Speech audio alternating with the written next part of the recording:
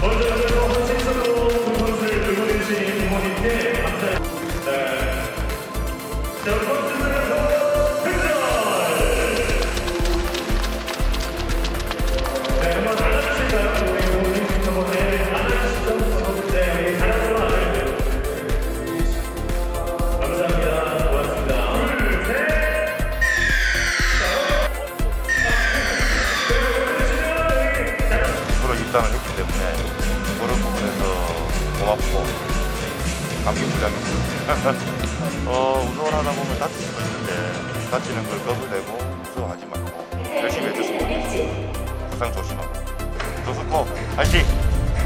아이를 키운 부모로서 즐겁고 행복하고요. 좋습니다. 건강하게 팀에 도움이 될 수 있는 선수가 되길 바랍니다.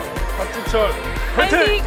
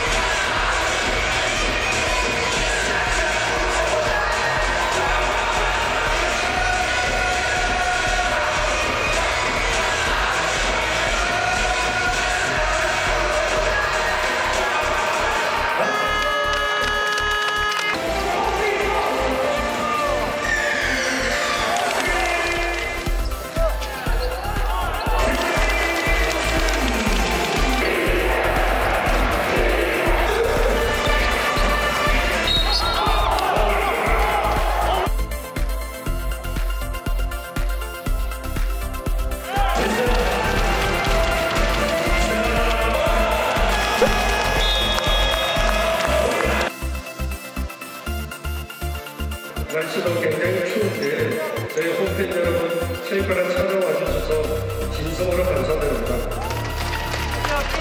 저희 선수들과 어려움에서 백승